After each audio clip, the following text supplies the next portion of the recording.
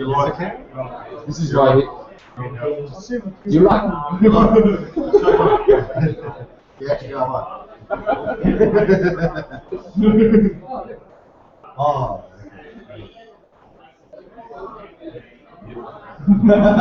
Or the 500 followers. Maybe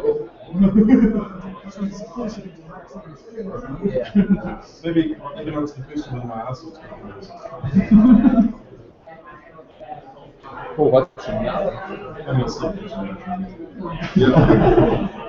What's in there?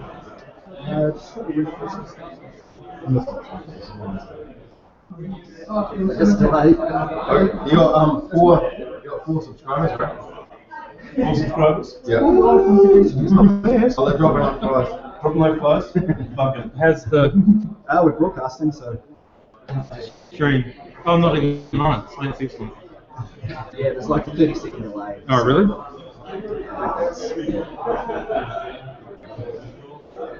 So you guys will crowd around the. Yeah, they're avoiding. We're more interested in this. You, you're gonna watch. You can all just sit in the upper yeah. boardroom if you like and watch it from there. You could hear us all laugh. I mean, wonder why for 30 seconds.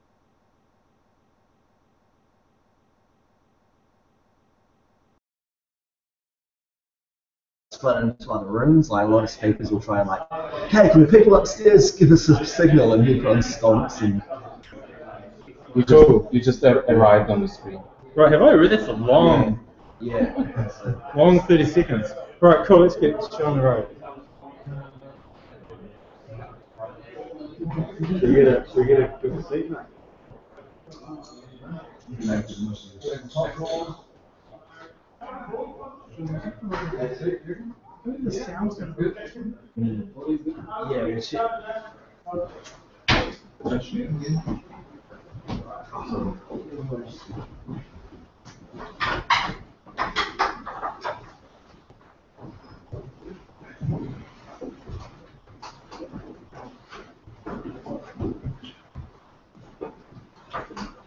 Back.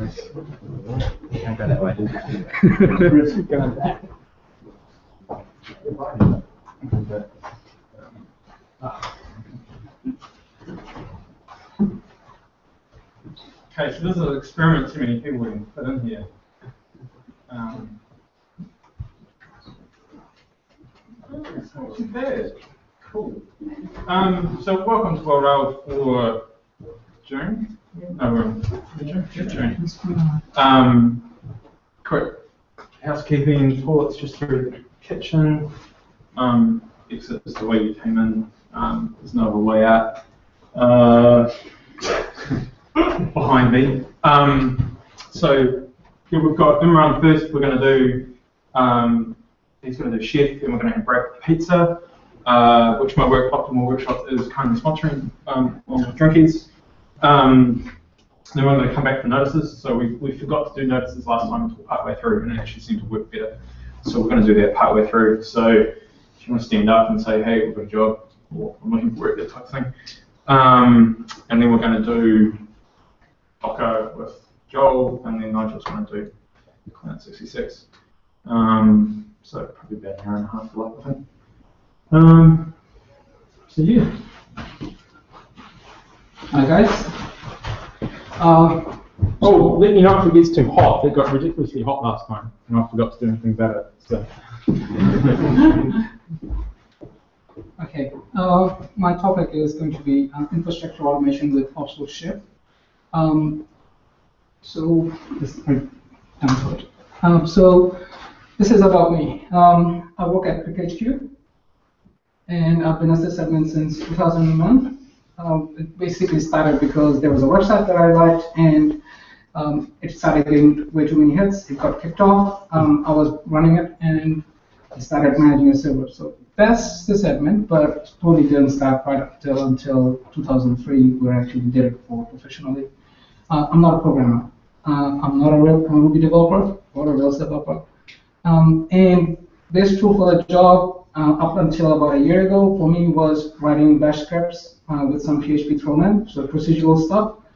Uh, but what happened after I started with um, HQ is that I think Ruby is better now. so, change.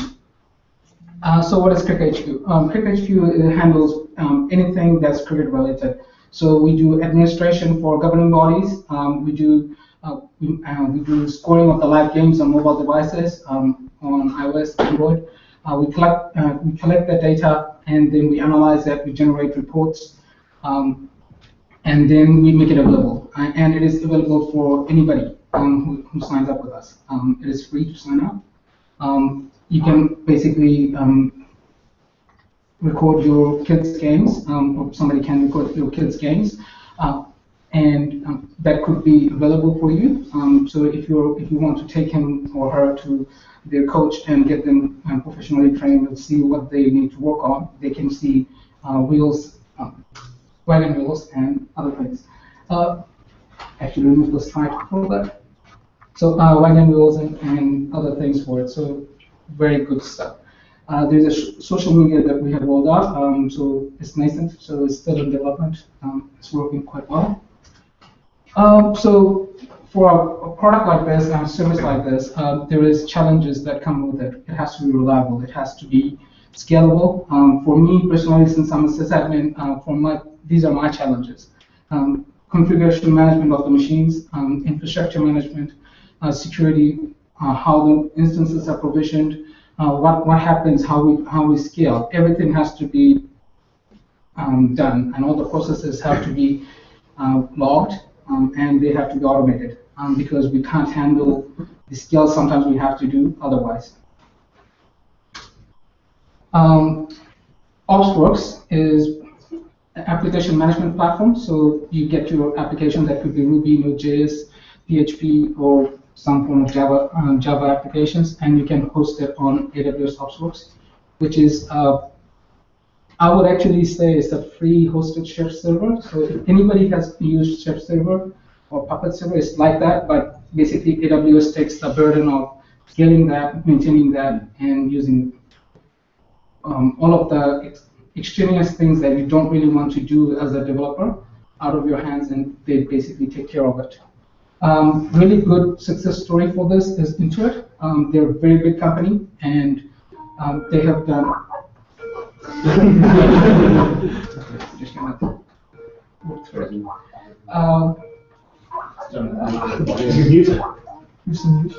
okay, uh, infrastructure. Um, just I'm just gonna cancel this.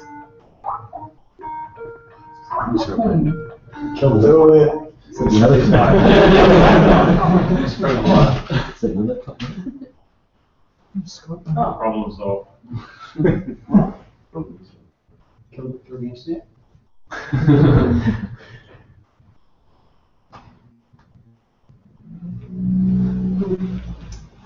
Um, so Chef is infrastructure as code.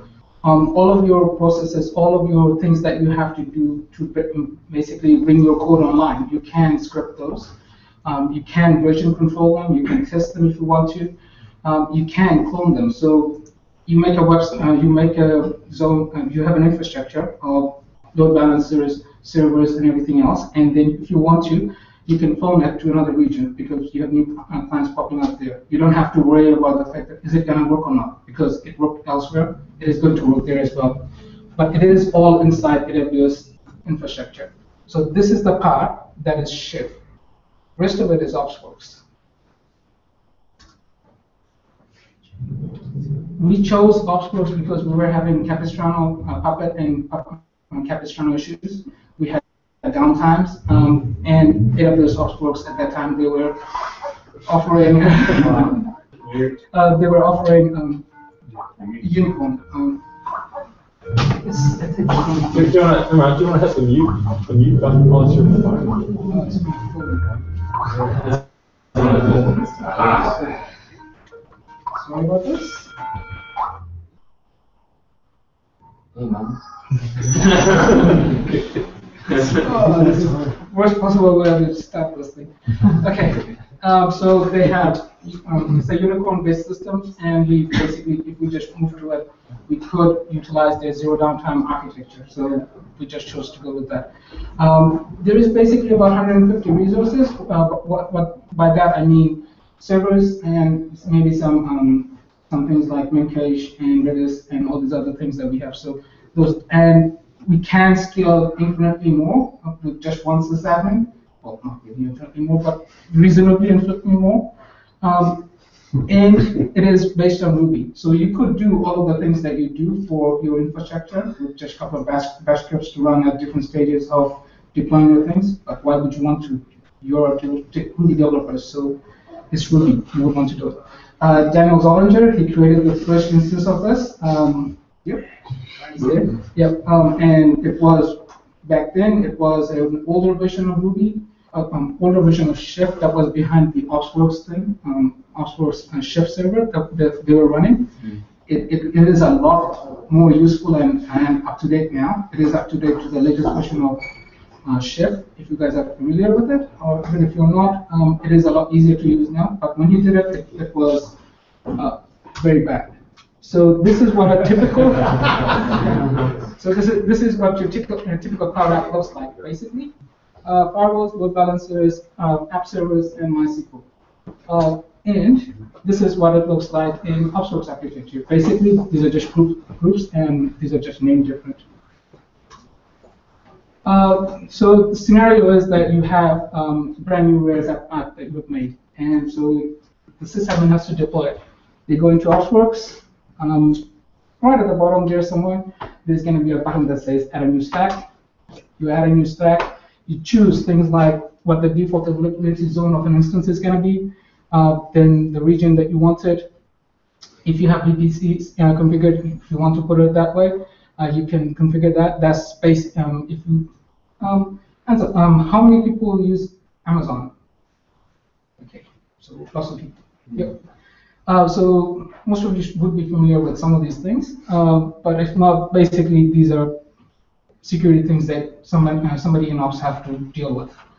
Um, you can choose the default operating system you want, and whether you want instance stores or uh, EBS-backed disks. Um, things like what sort of permissions they would have, um, the machines would have um, normally. Um, anything that you would uh, think that a machine should have or specific server or stack of servers should have, you can configure it as a default. Um, then you add layers.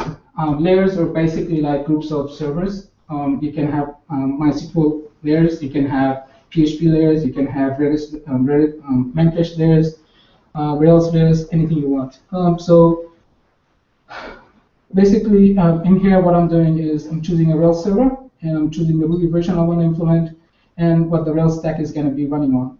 Um, and down there, you can actually choose to use a load balancer if you want um, already, um, classic load balancer, to deploy with that Rails stack uh, layer. So, and after you have created that, you create the instance, the instances of the servers. So these are going to be your actual servers that are going to be running. You can choose three different types of servers. You can choose them uh, you can choose 24/7 servers. You can choose time-based ones that only run at certain periods of the time, um, depending on how you want it. Uh, and there's a visual tool you can use to do. And you can use load balance, uh, um, load-based ones, which are basically things that um, get um, auto scale um, that is useful for auto scaling up and down if you want to. Um, and you can choose the type of um, hard disk it's going to use. You can um, after that you would uh, you would need to have a data store. So you can choose different types of data stores you want um, you want to use.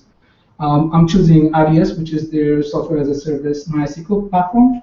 Uh, I'm just when I go there it, uh, in the same zone that I've created the um, stack, um, I get automatic, um, automatically some uh, some of the existing ones show up. All I have to do is, okay, I want to use that one, and I have to put in the root details, and I'll have to basically make them connect together. Once that's done, um, I, I would actually have to go back and uh, edit. Um, oh, uh, this this is how. sorry this is how you create an, an application. So that, specific application that needs to be deployed, um, you create the specific important information about, about it. So you choose the Rails environment is going to be going on, uh, what type of application it is going to be, um, what type of data source you're going to be using. I'm not actually um, doing that here because I actually and I ended up doing it, um, going back and editing this so that I can use the uh, RDS instance. Uh, then you can choose what sort of a domain name you want to give it. That application is going to respond behind the ELB. And there I come back and I edited and put the um, information about where the data source for um, this application is going to be. And then I spin up additional servers. And while that's actually happening, I can go into the ELB and see what the status of the machines are. Once they have actually come up, there's green text that come up because they're responding to the health checks that is configured on the ELB. Um, and you go there. And it's, it's up. So behind that is recipes that are running. Recipes are instruction sets that basically tell um, the, the during the lifecycle event of, of a stack or a um, instance what to do. So once it's a, the setup uh, setup part is what happens after you provision the instance, so that the instance comes online. Um, it starts to run through each of these things in series, and they run through and they perform certain tasks. Um, the configure event is what, what happens when you scale your stack up and down, or you make a, configure, um, a change in the configuration.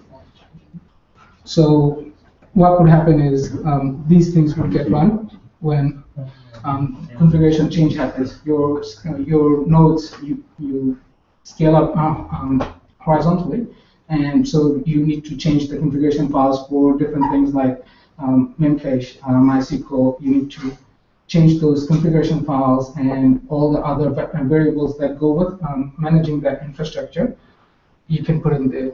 Um, if you want, uh, you can have your own set of cookbooks, which is basically, uh, you can have a, a, cookbook is a series, um, a couple of related um, set of recipes.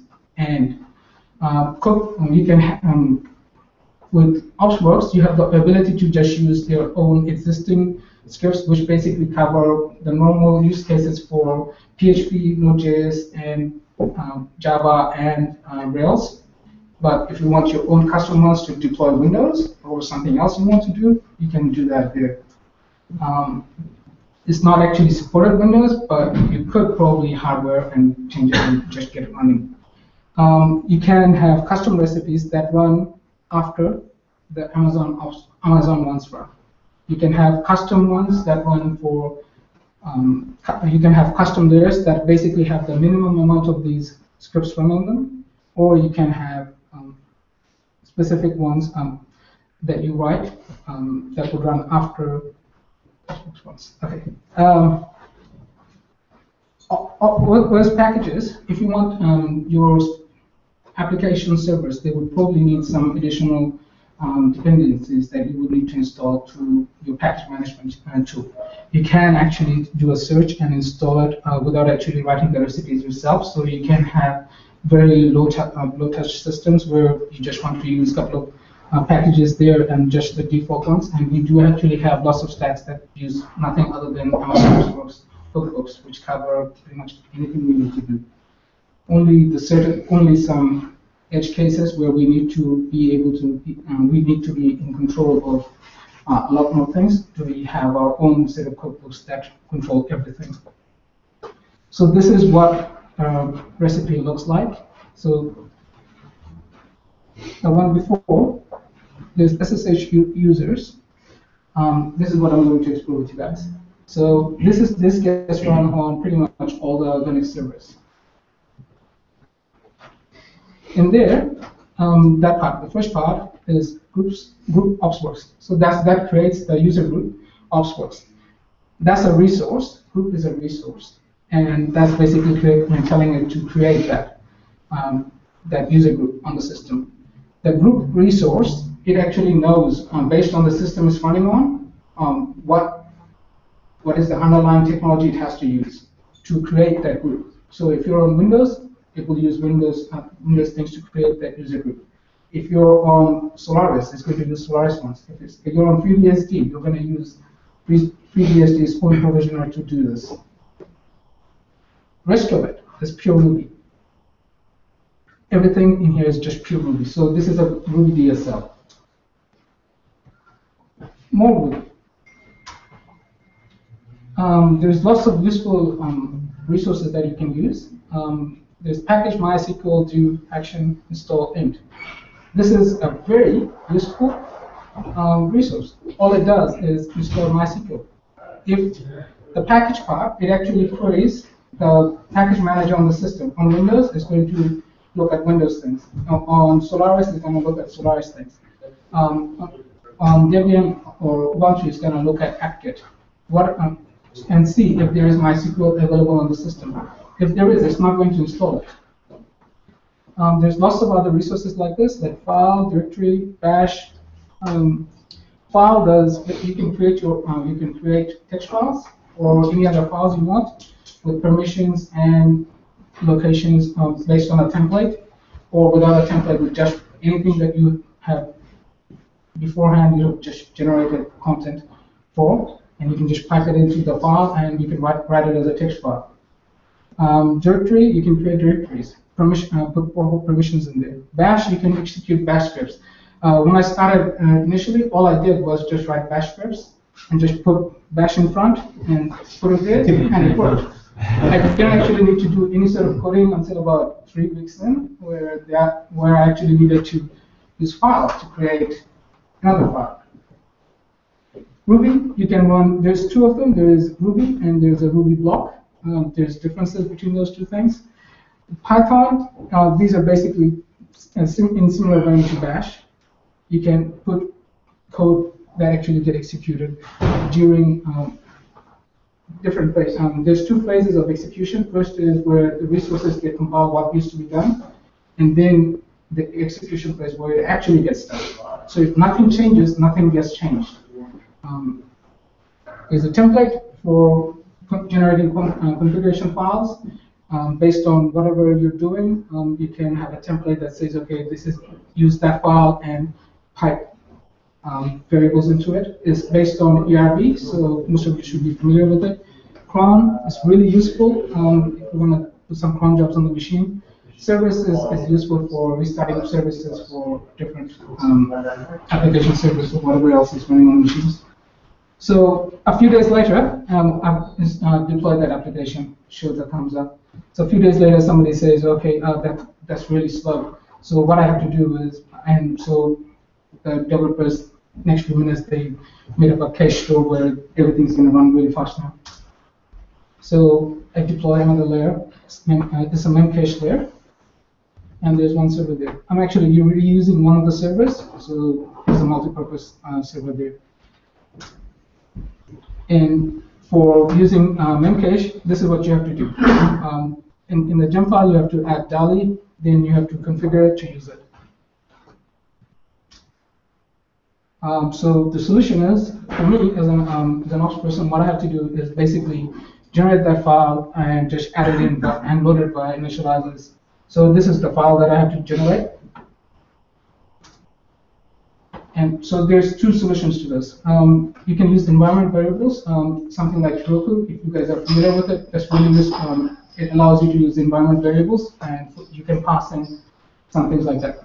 The uh, problem with that is that OpsWorks by default doesn't actually have a um, environment variable solution there.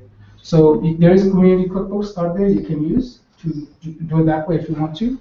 Uh, or you can actually generate these values out of uh, node attributes. The node attributes come from the cookbooks themselves, or um, infrastructure key values, or custom JSON values that you pass in during the deployment commands or any other commands that you run. Um, the hooks that are available for you to basically generate an at. So you can do deploy-based ones, uh, so it gets run during deployment for any of the for the application that you're deploying. Um, so they get these are basically Capistrano-based ones. So similar to Capistrano. So that, that, that basically illustrates where they fit in. Before migrate runs, uh, before migrations, before Symlink runs, um, this basically that's how it works. Um, the chef uh, infrastructure one based ones, uh, these are the more nice ones. Uh, these are these get executed during the lifecycle event of a specific um, instance. So you can um, so deploy ones will only run after Amazon OpsWorks has run its own deploy scripts. Then it's going to run your ones. Um, and the app fol um, the folder, the application folder, you create a directory, deploy, and before we start, you put that there. Whatever code, the chef code that you put in there, it will get executed as part of normal OpsWorks um, deploy run.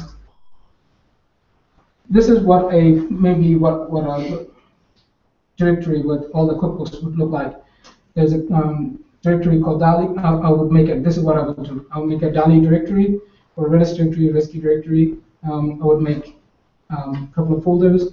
The attributes one was where I, I would put the key values for the um, platform. Um, so the, any key value pairing that I would need for deploying this script, um, this resource. Um, the Dalli, um, this is where I would put the instructions, the recipes, and this is where I would put the ERB files that would actually have be the basis for the template for generating the configuration files.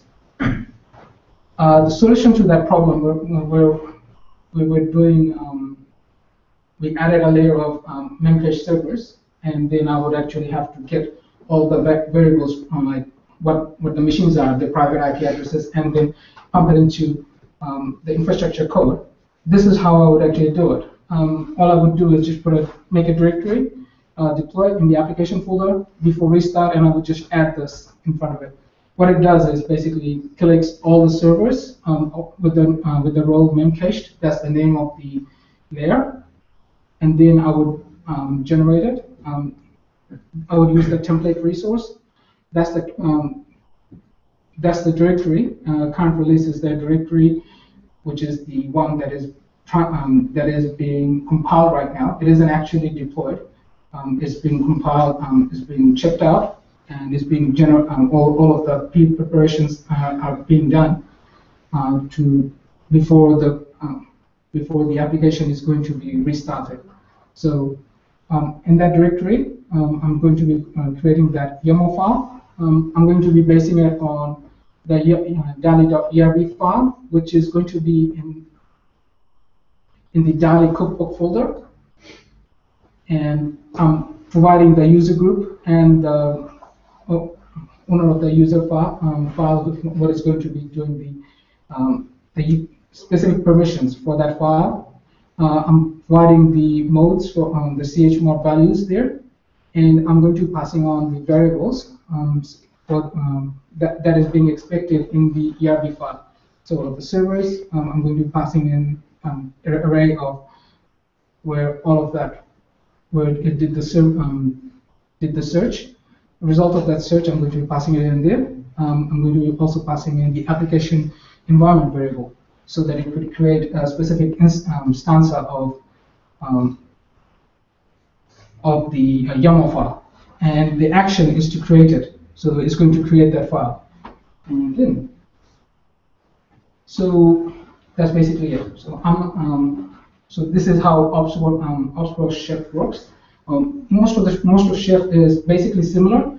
Um, there's some slight differences. Chef, uh, just normal Chef, um, it is a pull, um, model, so every 15 minutes uh, client run is done, and infrastructure is brought online and basically made to look how you want it to look. With um, with OpsWorks, it's more of a push model where you're actually saying that I want this is what I want, and you run it, and this is what you get out of it. Uh, so the things that we have done, we have done automated deployment. So as soon as we do um, our, C, uh, our CI passes, it actually sends a command to OpsWorks to deploy. Uh, we have done um, release logs. So based on that, uh, we do also do release logs. So production and staging, they have their own logs, and based on specific events.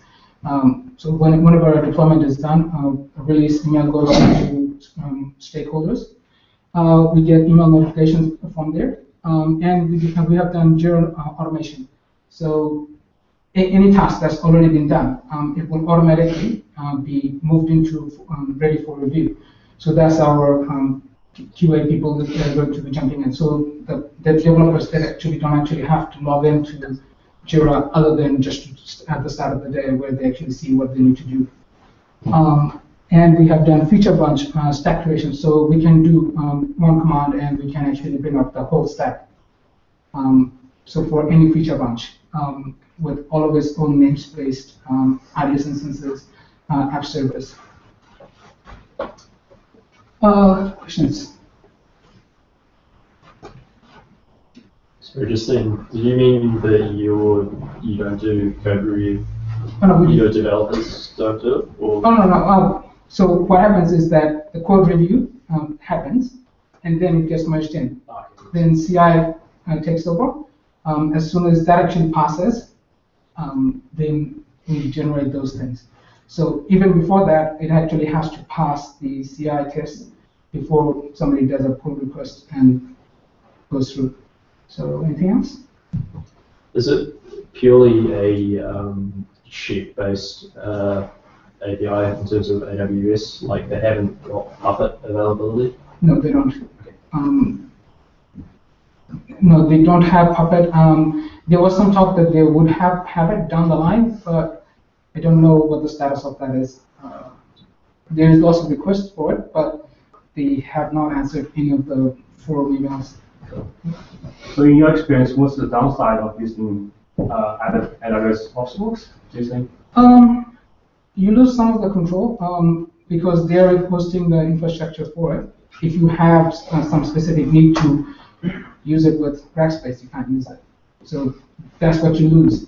But most of the recipes, now, there used to be a difference between Opsworks, what Opsworks offered, which was an older version of Chef, and what they actually were running.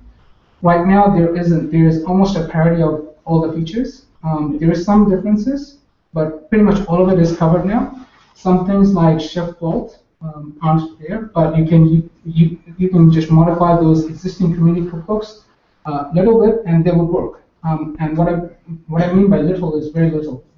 Um, you can get those um, information out from S3 stores if you want to, and you can basically bypass, pretty much use the cookbooks as is. Um, most important thing uh, for me as a sysadmin was that they, they implement search. Uh, doing that reduced code clutter quite a bit. Um, but uh, bef- uh, so that was the most important part uh, that they, they did manage to get done. Um, so it is almost totally where we wanted to be. Uh, yeah.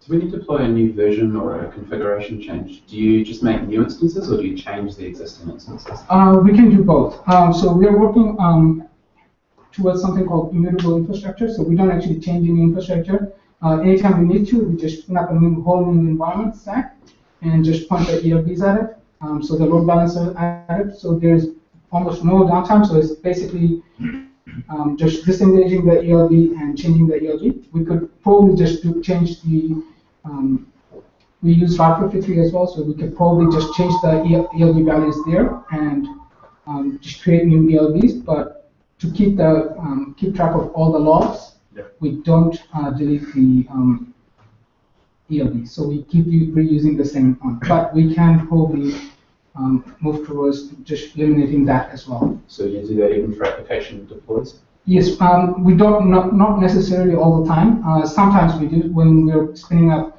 uh, quite a big change. So we would actually bring up the whole infrastructure up, um, put the modifications in, see how it runs, and maybe then we'll point the, um, the load balances at the new, um, new, new stack. So, so even if, if the changes that we make and if there are significant changes, we would do this, but there's no reason we actually can't actually do this for each and every single bill. So we could do it, but it would increase the cost of it slightly. Uh, maybe not much, maybe 10 20 dollars more, but so 10 20 dollars is just on pizza. You trying to say something? I have another quick question. You know that configure state which ran after the create state which actually brings up the resources? Yep. Does that get rerun if you change a different instance? Like if you want all of your instances to know about the other instances, like your apps need to know about the memcache or something? Okay, um, so uh, configure one, uh, it runs anytime there is a stack-wide change. So if you add a new, sta- new instance on any of the other layers, it will get run for all of the machines.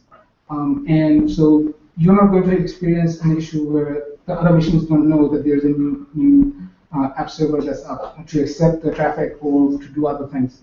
So it is automatically handled for you. Anything else?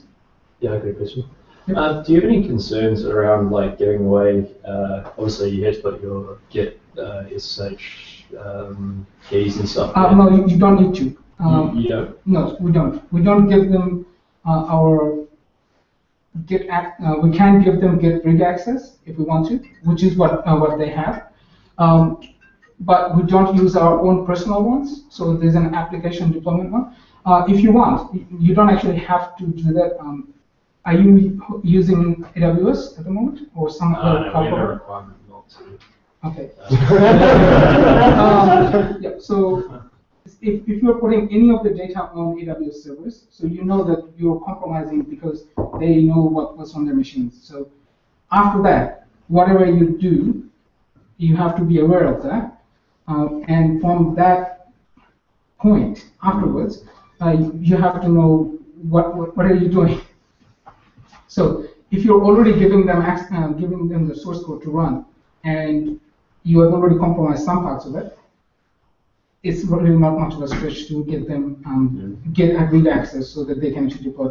You can use other ways, um, other ways. So you can give them um, a URL, HTTP URL. Uh, you can give them S3 um, S3 access to get the files. You can give them SVN access, or anything. else. Um, that's, that's basically it. What about in terms of like defining uh, custom uh, configuration files? Because obviously, like a lot of stuff you leave out of your actual Git repo because it's sensitive. Yeah. Uh, session keys, for example. Yep. Um, how would you set them up using? Okay. Um, what we do usually is put that in OpsWorks. Um, we can get, get these things configured so that OpsWorks doesn't actually. Um, we can't configure uh, permissions on S3 uh, um, files, and we can uh, we can configure because this is Ruby.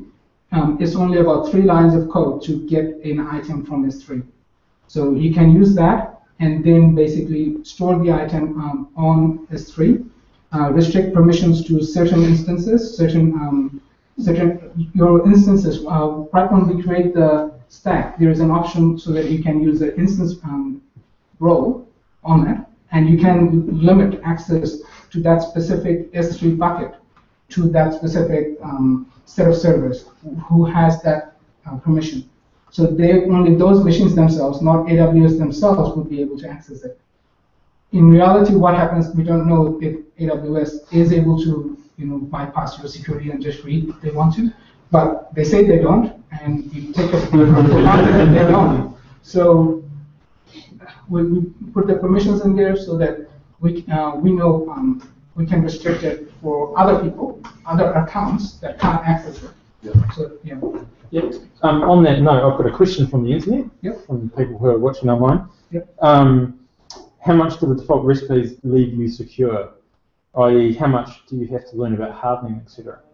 Um, So the It's default's good, or did you have Uh, to do a whole lot? is, uh, default is quite good. Um, I do some optimization around um, some of the other things. So some uh, sys, sysctl values, um, I, I, I would change some of them, um, maybe make them higher. Uh, the Nginx one, there is um, some variables that ex- uh, how big of a packet to accept and how big of a um, request bodies you know, to accept or not. So those things are some of the things that I would maybe change, but uh, you can code them and you do have the ability, if you don't want to use a specific part of it, what you can do is put your own directory that's called the same, and then you can modify it however you want. OpsWorks is going to honor your, your cookbook changes over their own cookbooks.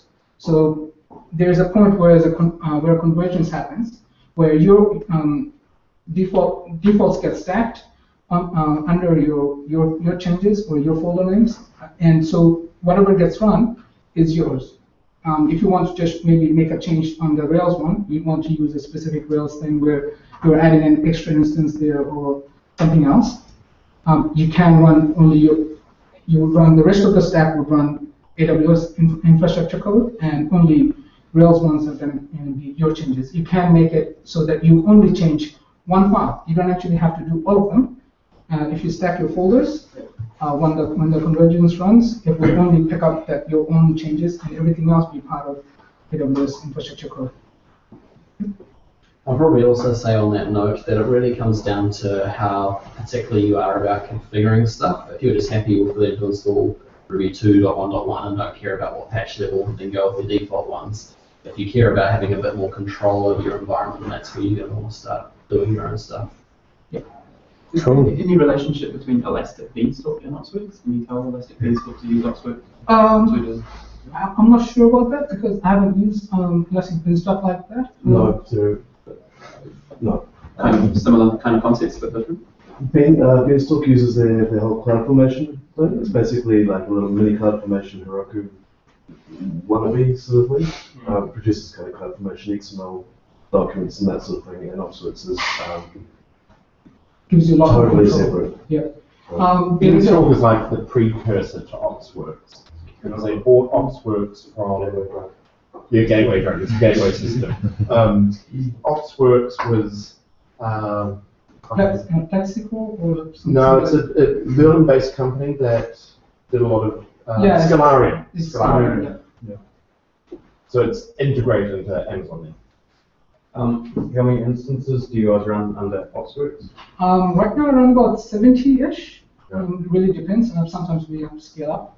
So Uh, what do you do with devs? You know, do they just hand build their uh, machines, or do you have any way to, to uh, um, let Oh. them uh, do automated? this, this is what something that we're working on. Um, but this is not, we haven't actually done it. So even if we do end up doing it, it will be two different um, things because right now what, what the devs use is an Apple Mac, um, MacBook.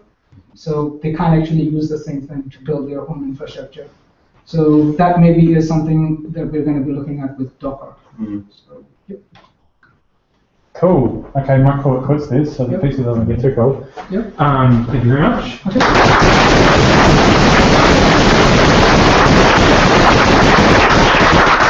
I need a couple of helpers to dish out the awesome amount of pizza we've got.